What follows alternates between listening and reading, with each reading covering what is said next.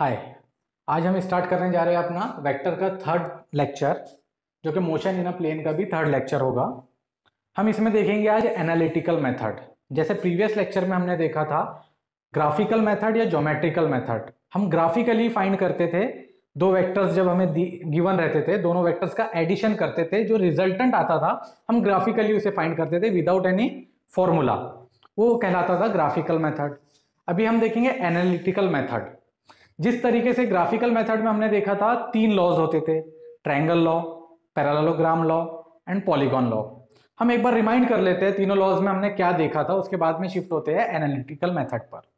हमने देखा था कि एक वेक्टर अगर गिवन है ए और दूसरा वेक्टर गिवन है B vector A and B इसका एंगल है थीटा तो हम क्या करते हैं, एक के पीछे एक अगर हम इसे जोड़ देते हैं, ये शिफ्ट हो जाएगा, यहाँ पे ये वेक्टर यहाँ शिफ्ट हो गया. ये एंगल कितना रहेगा? थीटा ही रहेगा. तो स्टार्टिंग पॉइंट से एंड पॉइंट को जोड़ देना होता था।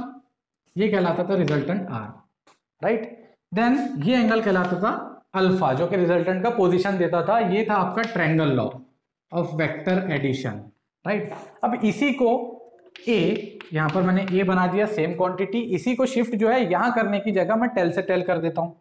इस तरीके से जोड़ देता हूँ। ये होगा वेक्टर बी ये एंगल है आपका थीटा ही रहेगा सेम तो यहाँ पर क्या हो रहा है कि टेल से टेल जब ऐसी पोजीशन आती है, दो वेक्टर जब निकलते हैं तो यहाँ पर अप्लाई होता है पैरेललोग्राम लॉ कैसे? हम पैरेलली जो है, इसे जोड़ देते हैं। है ना? पैरेलल बनाते हैं, दो लाइंस खींचते हैं पैरेलल जहाँ इंटरसेक्ट होता है, उस पॉइंट तक ये दोनों के बीच में से एक वेक्टर निकलेगा, उस पॉइंट तक जाएगा, वो कहलाता था रिजल्टेंट आर और उसका एंगल होता था अल्फ़ा जो कि पोजीशन या डायरेक्शन बताता है। तो ये दोनों क्वांटिटी दोनों तरीके से, दोनों लॉ से ये है पैरेललोग्राम लॉ ग्राम लॉ। ठीक है, दोनों तरीके से वैल्यू सेम मिलती थी। पॉलीगॉन लॉ क्या था? पॉलीगॉन लॉ ऐसी चीज़ थी, जब आपको दो वेक्टर से ज़्यादा वेक्टर्स गिवन है, उनमें एडिशन करना है तो पॉलीगॉन लॉ अप्लाई होता था।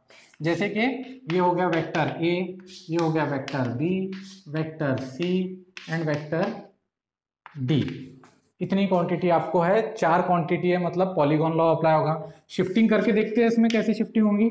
ये होगा वेक्टर ए देन बी कहाँ गया? इस तरफ़ गया तो उसके आगे जुड़ जाएगा बी सेम वैसे ही करना है। एक के पीछे एक जोड़ देना है स्टार्टिंग एंड पॉइंट को मिला देंगे रिजल्टेंट मिल जाएगा। जैसे कि हमने देखा है इसमें ट्रायंगल लॉ में। देन ये बी बना लिया देन ये सी हो जाएगा ऐसे ऊपर में, चले जाएगा सी ये वाला सी देन डी डी ऐसे आ जाएगा। कुछ ये ऐसे आ जाएगा वेक्टर डी स्टार्टिंग पॉइंट ये है एंड पॉइंट ये है, दोनों को जोड़ दिया डायरेक्शन स्टार्टिंग टू एंड रहेगा।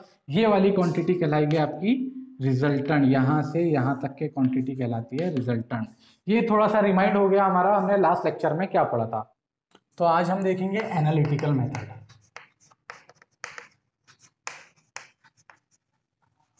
मैंने लास्ट प्रीवियस लेक्चर में आपको बताया था graphical method then analytical method इसमें हम सारे फॉर्मूलेस डिराइव करेंगे और फॉर्मूले से प्रॉब्लम सॉल्व करेंगे। इसमें हमने लास्ट टाइम देखा था, एक होता था ए वेक्टर दूसरा अगर होता था बी वेक्टर देन इसके बीच में से कहीं से ऐसे रिजल्टेंट निकलता था, है ना? ये हम ऐसे मिला देते थे, जहाँ पर भी लाइन कोइन पैरल बनाते थे, जहाँ लाइन कोइंसाइड होती थी, इस तरीके से ये हमें मिलता था रिजल्टेंट आर देन यहाँ पर अगर मैं थोड़ा सा कंसिडर कर लूँ, इसको मैं थोड़ा एक्सटेंड कर लेता हूँ और इसको ऐसे ले लेता हूँ, ये 90 डिग्री का एंगल है। देन इसको नेमिंग दे देता हूँ P Q R R M N ये मैंने इसको नेमिंग दे दिया P Q and M N then इतने ट्रायंगल में देखिए, सिर्फ़ इतने ट्रायंगल में, कौन से?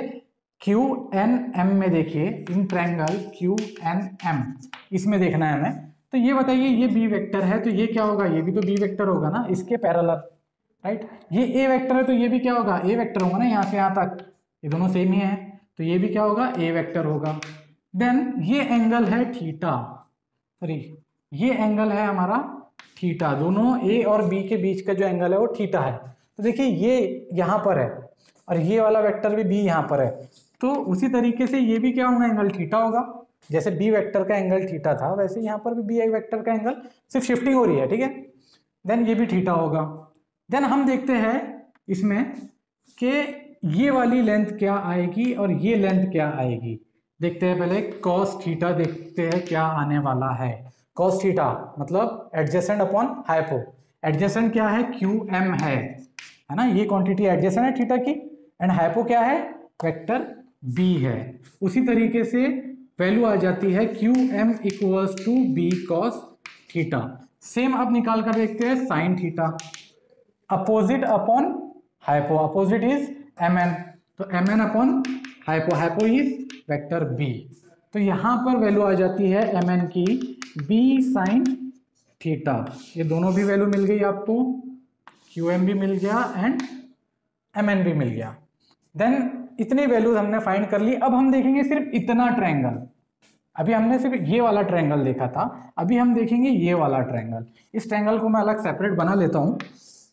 राइट ये ट्रायंगल इस ट्रायंगल के अंदर में देखिए, ये Q पॉइंट है, ये M पॉइंट है, ये वेक्टर A है। राइट ये P है। एंड ये क्या होगा? वेक्टर R है। ये क्या है? वेक्टर R है। देन ये Mn है। देन ये एम क्यू है और ये वेक्टर ए है। यहाँ तक के वेक्टर ए है। तो मुझे बताइए कि ये यहाँ से यहाँ तक की लेंथ क्या होगी? कौन सी लेंथ यहाँ से यहाँ तक की लेंथ क्या होगी? ये लेंथ होंगी आपकी vector A plus Q M right Q M Q M क्या होगा? बी कॉस थीटा तो A plus B cos theta होगी ये वाली लेंथ राइट ये पूरी फुल लेंथ यहाँ से यहाँ तक के बी कॉस थीटा और ये वाली लेंथ है वेक्टर ए देन उसी तरीके से ये आर मिल गया और ये कितनी लेंथ आई है हमारी? बी साइन थीटा बस खत्म। पाइथागोरस थ्योरम अप्लाई कर दीजिए। राइट एंगल ट्रायंगल है यहाँ से। पाइथागोरस थ्योरम से हम क्या लिख सकते हैं? आर स्क्वायर इक्वल्स टू ये क्वांटिटी का square A plus B cos theta का होल स्क्वायर प्लस इसका भी स्क्वायर बी साइन थीटा का होल स्क्वायर। क्या आ जाएगा ये? यहाँ देखिए, R square equals to A square plus B square cos square theta plus twice A B cos theta, right? Then इसका expansion B square sine square theta, इतना आ जाएगा। देन यहाँ से देखिए ये क्वांटिटी और ये क्वांटिटी को देखिए B square cos theta then B square sine theta B square दोनों में कॉमन है, निकल जाएगा। देन ए स्क्वायर जैसा का वैसा लिखेंगे बी स्क्वायर दोनों में से कॉमन निकल जाएगा। तो यहाँ बचेगा cos square theta plus sine square theta यहाँ ब्रैकेट में बचेगा।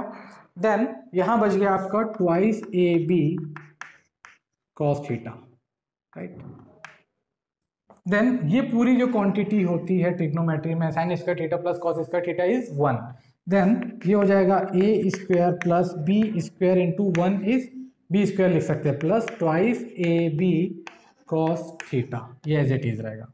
ये हो गया आर स्क्वायर तो आर के लिए क्या फॉर्मूला बनेगा? ये बनेगा A square plus B square plus twice A B cos theta right then alpha भी देख लेते हैं। यहाँ पर क्या होगा? ये एंगल क्या रहेगा? ये वाला एंगल क्या होगा? अल्फ़ा होगा। अल्फ़ा कैसे फाइंड होगा? ये मेरा रिजल्टेंट फाइंड कर लिया। मैंने उसका पोजीशन या एंगल फाइंड नहीं किया है। तो टेन अल्फ़ा देख लेते हैं। ये अल्फ़ा है। तो टेन अल्फ़ा देखते हैं। कैसे निकालेंगे?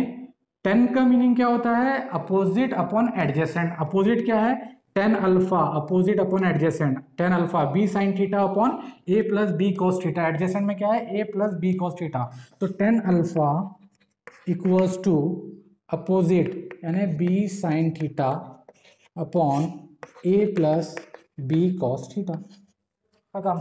ये हो गया आपका एंगल निकालने के लिए। इसको आप ऐसे भी लिख सकते हैं। लेकिन एक चीज़ है, ये जो एंगल है विथ रिस्पेक्ट टू हॉरिजॉन्टल है angle with respect to vertical है कि ये अल्फ़ा नहीं ना। ये जो एंगल है अल्फ़ा ये विथ रिस्पेक्ट टू हॉरिजॉन्टल है, या with respect to A vector है, जो कि ए वेक्टर क्या है? हॉरिजॉन्टल है। तो यहाँ पर क्या होगा? ये जो फॉर्मूला है, एक चीज़ यहाँ पर इंपॉर्टेंट रहेगी। इसको हम ऐसे लिख सकते हैं tan inverse B sine theta upon A plus B cos theta लेकिन कब? विथ रिस्पेक्ट टू हॉरिजॉन्टल ये कब है? विथ रिस्पेक्ट टू हॉरिजॉन्टल है। अब अगर विथ रिस्पेक्ट टू वर्टिकल हम देखें इसको, ये फॉर्मूले को अल्फ़ा निकालने के लिए विथ रिस्पेक्ट टू वर्टिकल अगर हमें अल्फ़ा निकालना है, ये वर्टिकल लाइन है और यहाँ से अल्फ़ा निकालना है तो वैसे ही रिजल्टेंट का एंगल निकालना है तो ज़्यादा कुछ भी चेंज नहीं होगा, जहाँ पर ए है, वहाँ बी हो जाएगा, जहाँ बी है, वहाँ ए हो जाएगा। अभी हमने विथ रिस्पेक्ट टू हॉरिजॉन्टल मतलब विथ रिस्पेक्ट टू ए निकाले हैं। विथ रिस्पेक्ट टू बी निकालना है अगर हमें, यहाँ से अगर निकालना है विथ रिस्पेक्ट टू बी या वर्टिकल भी बोल सकते हैं समटाइम वैसे निकालना है तो सिर्फ़ और सिर्फ़ चेंज क्या होगा? ए की जगह बी बी की जगह क्या हो जाएगा formula tan inverse of A sine theta upon B plus A cos theta बस यही हो जाएगा। क्या लिख देता हूँ मैं यहाँ पर फिर भी? With respect to with respect to B निकालना है। ठीक है? ये विथ रिस्पेक्ट टू ए हो गया। पहले जो लिखा विथ रिस्पेक्ट टू बी निकालना है तो alpha equals to tan inverse of A sine theta upon B plus A cos theta right draw कर लीजिए। ये फॉर्मूला बहुत इंपॉर्टेंट है, इसको अच्छे से लर्न कीजिए। ये फॉर्मूला हो गया टेन इनवर्स फॉर्मूला हो गया रिजल्टेंट का फॉर्मूला हो गया एंगल का फॉर्मूला हो गया। अभी हमने देख लिया फॉर्मूला फॉर रिजल्टेंट क्या होता है formula for resultant under root of A square plus B square plus twice A B cos theta right अब देखते हैं इसमें कुछ अलग अलग केसेस अगर मेरा थीटा एंगल जो है थीटा ज़ीरो डिग्री रहा तो क्या होगा? ज़ीरो डिग्री रहा तो क्या होगा? R equals to under root of A square plus B square plus twice A B cos zero क्या होता है? Cos zero equals to one होता है। Cos one eighty equals to minus one होता है। And cos ninety equal to zero होता है। याद रख लीजिएगा अपने सब पढ़ चुका है। कहाँ पढ़ा है? टेक्नोमेट्री में। देन यहाँ पर देखेंगे आप कि कॉस ज़ीरो इज़ वन तो यहाँ पर मैं वन लिख दूँगा राइट तो क्या आ जाता है आपका? A square plus B square plus twice A B इसको मैं ऐसे लिख सकता हूँ ये काय का एक्सपांशन है। A plus B whole square का एक्सपांशन है। देन ये रूट में है पूरी क्वांटिटी तो क्या होगा? R equals to A plus B आ जाएगा। रूट हट जाएगा। तो ये होगा R equals to A plus B कब? जब हमारा एंगल आता है ज़ीरो डिग्री ये इसकी मैक्सिमम वैल्यू होगी राइट ये क्या होगा? मैक्सिमम वैल्यू ऑफ़ आर रहेगी।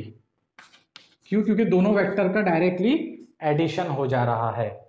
देन हम अगला पार्ट देखते हैं कि अगर कंसीडर करते कि हमारा ये कब हुआ? जब ज़ीरो डिग्री था। देन अगर थीटा इक्वल्स टू 180 डिग्री आ गया तो? अब वापस से इस फॉर्मूले में देखते हैं क्या आएगा। R equals to under root of A square plus B square plus twice A B cos 180 cos 180 is minus 1 then r equals to under root of a square plus b square minus twice A भी हो जाएगा. Then इसको मैं ऐसे लिख सकता हूँ. A minus B का होल स्क्वायर लिख सकता हूँ. इसी का एक्सपांशन है ये. ये जो A square plus B square minus twice A B then root हट जाएगा तो मैं क्या लिख सकता हूँ? R equals to A minus B ये आ गया मुझे r का वैल्यू कब? A माइनस बी कब होगा? जब थीटा 180 डिग्री होगा। अच्छा ए माइनस बी क्यों? मैंने आपको बताया था कि वेक्टर में एडिशन ही होता है सब्सट्रैक्शन नहीं होता है। सिर्फ़ ये माइनस क्या दर्शाता है इसमें? उसका डायरेक्शन डायरेक्शन पलट जाता है। तो यहाँ पर हमेशा याद रखिएगा, या तो R equals to A minus B होगा, या तो R equals to B minus A होगा। दोनों में से कोई भी हो सकता है। जो बड़ा होगा, वो कंसिडर करना है। बड़े में से छोटे को माइनस करना है। ये याद रखिएगा, बड़े को छोटे में से माइनस करना है। R equals to A minus B या R equals to B minus A अगर बी बड़ा है तो बी पहले आएगा। अगर ए बड़ा है तो ए पहले आएगा। राइट तो ये हमने देख लिया दोनों केसेस अब देखते हैं cos sorry theta equals to अगर 90 डिग्री रहता है। ये ड्रॉ कर लीजिए अपने, मैं मिटा दे रहा हूँ। थीटा इक्वल्स टू 90 डिग्री तो आर इक्वल्स टू क्या होगा? यहाँ लिख रहा हूँ। If theta equals to 90 degree तो आर इक्वल्स टू होगा A square plus B square plus twice, A, B cos 90 ये पूरी टर्म क्या होगी? ये ज़ीरो होता है कॉस 90 तो पूरी टर्म क्या हो जाएगी? ज़ीरो तो R equals to under root of A square plus B square होगा। Right? Under root of A square plus B square. ये कब होगी? तीसरी कंडीशन जब थीटा इक्वल्स टू 90 डिग्री रहेगा। राइट यहाँ पर देखिए, ये जो वैल्यू आया है ए माइनस बी ये होगा इसका मिनिमम वैल्यू मिनिमम वैल्यू कितना आ सकता है उसका? ए माइनस बी आ सकता है। मैक्सिमम वैल्यू क्या आ सकता है? A plus B maximum value कब आएगा? जब एंगल ज़ीरो डिग्री रहेगा। Theta equals to zero degree रहेगा। मिनिमम वैल्यू कब आएगा? जब angle theta equals to 180 degree रहेगा। ये आपको याद रखना है। देन यहाँ पर अगर मैं अल्फ़ा निकालना चाहूँ टेन इनवर्स ऑफ़ यहाँ अगर मैं अल्फ़ा निकालता हूँ तो ये होता है B sine theta upon A plus B cos theta right ये होता है अल्फ़ा रिजल्टेंट का एंगल का फॉर्मूला इसके लिए कब जब थीटा 90 है तो alpha equals to tan inverse of B B जैसा का वैसा रहेगा साइन थीटा साइन थीटा मतलब sine 90 sine 90 is one sine 90 equals to one होता है। तो क्या हो जाएगा? बी इंटू वन हो जाएगा। Upon A plus B B cos 90 cos 90 क्या होता है? ज़ीरो होता है। अभी लिखा है मैंने आपको, बताया है। तो कॉस 90 ज़ीरो तो ये पूरी टर्म क्या हो जाएगी? ज़ीरो हो जाएगी। तो अल्फ़ा क्या निकल गया? Tan inverse of B upon A ये कब बनेगा अल्फ़ा जब सिंपल बी अपॉन ए, कब?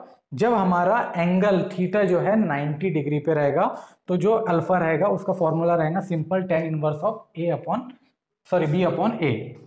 तो यहाँ आपको ध्यान रखना है कि जब भी 90 डिग्री आता है, दो वेक्टर के बीच का अगर एंगल 90 डिग्री है तो उसके एंगल के लिए मतलब रिजल्टेंट के एंगल के लिए formula simple tan inverse of B upon A रहता है। ड्रॉ कर लीजिए, मिटा देता हूँ मैं।